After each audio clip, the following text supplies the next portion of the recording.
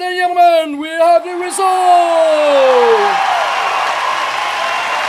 And the winner of this year's Jon Olsson Super Session is...